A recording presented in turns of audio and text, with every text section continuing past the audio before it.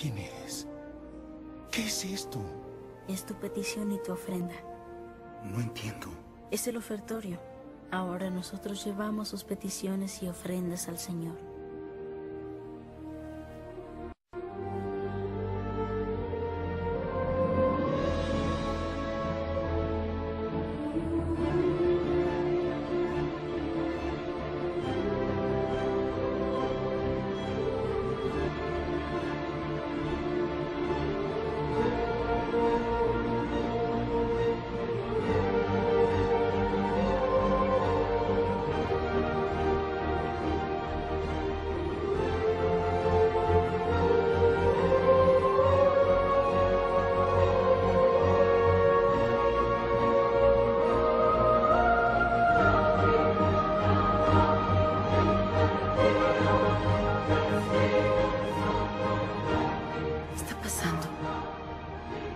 ¿Son ángeles?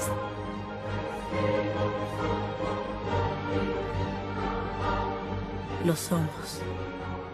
Uno por cada uno. Entonces si existen los ángeles de la guarda. ¿Qué es lo que llevan? Sus peticiones y ofrendas.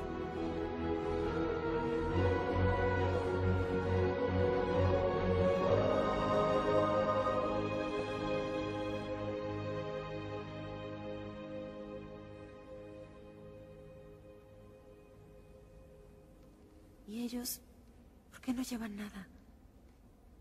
Porque las personas que ellos cuidan no tienen nada que pedir. No han puesto atención a la misa, o peor aún, han venido en contra de su voluntad, forzadas o por compromiso. Ellos no tienen nada que llevarle a Dios. Por eso están tan tristes. ¿Y qué pueden hacer? Orar por ellos. Te escuchan. ¿Qué es lo que hacen? Piden por ellos directamente a Dios. Su voz es la ofrenda que se alza por sobre la tierra hasta ser escuchada por nuestro Señor.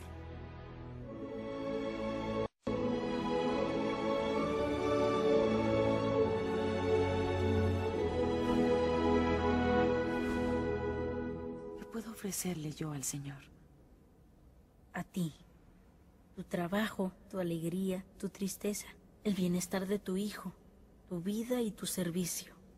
Siempre se nos olvida ofrecer algo a Dios y ni siquiera sabemos pedir. ¿Y cómo es eso? Pídele en silencio lo que más quieras, lo que tu corazón anhele.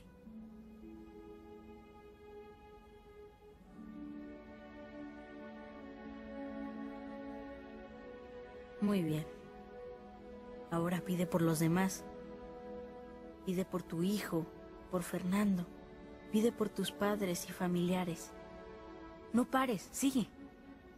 Pide por la paz del mundo, por los pecadores, por los sacerdotes y su misión. Pídele a Dios, pero no solo por ti, sino por quien más lo necesita. Ahora y con toda tu alma, hazle tu ofrenda a nuestro Señor.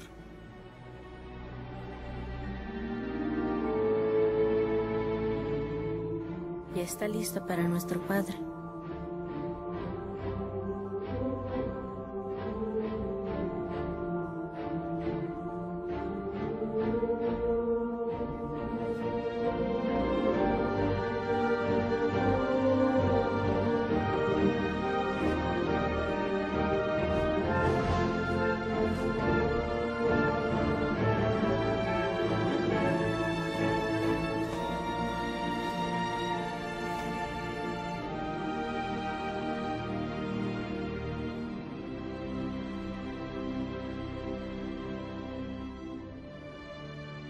No puedo creer lo que vi.